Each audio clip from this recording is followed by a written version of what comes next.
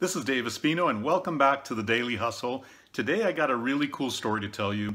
It's about a bizarre find that I made just the other day. Now we've moved out of state. We moved from Southern California to Idaho and the other day my son wanted to drop by a used electronics store. This is basically for electronics gearheads, people who are into electronic stuff and you know they want to buy different parts and used parts and things like that. Well, my son's really into this vintage electronic stuff. He, he just seems to think that way. And so we dropped by this store that I was expecting would just have nothing but electronics gear, right? Which is what it's all about. And the minute I opened the door, I saw four of these skateboard wheels. Now, not just any skateboard wheels, but these are Kryptonics green skateboard wheels that were made around 1977-ish, somewhere around that time. And I knew them by sight because I actually owned some of these on my original vintage deck way back in the day.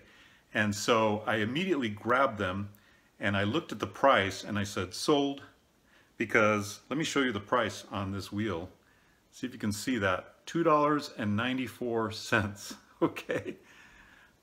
The weird thing about this is this is sitting in an electronics store in Idaho where, you know, there's, I'm, I'm assuming there weren't a whole lot of skateboarders back in 1977. Now there are, right? Because skateboarding has exploded. But back then there were very few skaters in anywhere other than California, Florida, Texas, etc. So to find these in the middle of Idaho in an electronics store was just so bizarre. I posted these on a Facebook group for skaters over 50 and believe it or not, uh, it got over 480 likes, the post, showing these wheels and showing what an incredible deal I got. Because if I were to sell these right now on eBay, uh, the, this set of four wheels would sell for about 125 to 150 bucks. okay? And I paid $12 for the whole set of four wheels. But the cool thing about it is I just wanted to share with you, uh, sometimes you'll find things in the most amazing places. Sometimes you'll find things where you least expect them. But man, the minute I opened that door and I saw those wheels, I made a mad rush for them. I grabbed them and I held on to them. In fact, I looked over at the guy at the counter and he was looking at me like, wow, he just went right for those wheels. It was so weird.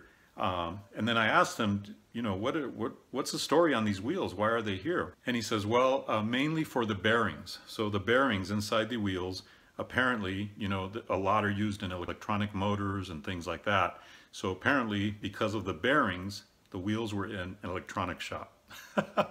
so that's my story of the $12 set of wheels that I could sell for 125 bucks, but you know what? I'm gonna hang on to them. These are a keepsake. These are from my memories. I used to have an Alva skateboard with these wheels on it.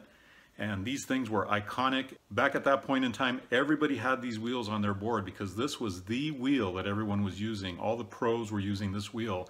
So it's very iconic. So that's why I'm gonna just hang on to it. But I wanted to share that story with you.